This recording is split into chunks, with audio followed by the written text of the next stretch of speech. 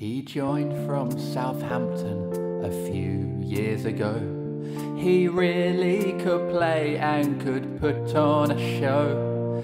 But something's gone wrong, and I just do not know what happened to that midfielder with the floppy hair. He started doing alright, yes, he settled soon. And a new manager, he soon entered the room. And all he said to everyone was just, and the kid with the floppy hair shone. Yes, he scored some goals. But now things are tough for him this Christmas time.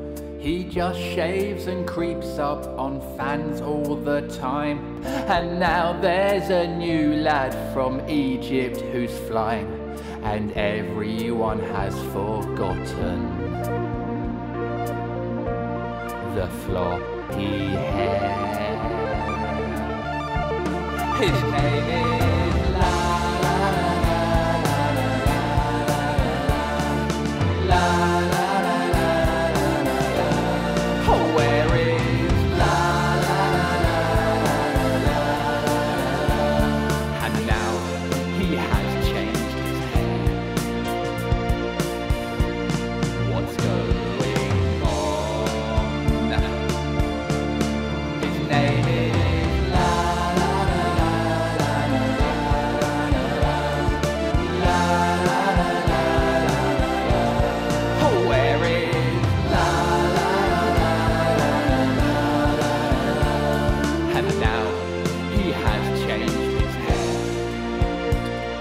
I'm not, I'm not a massive fan of it.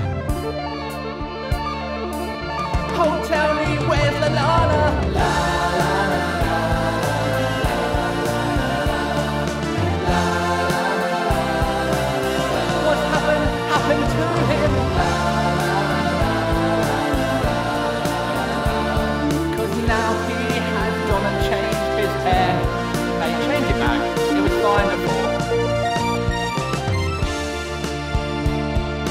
gonna need a Christmas miracle.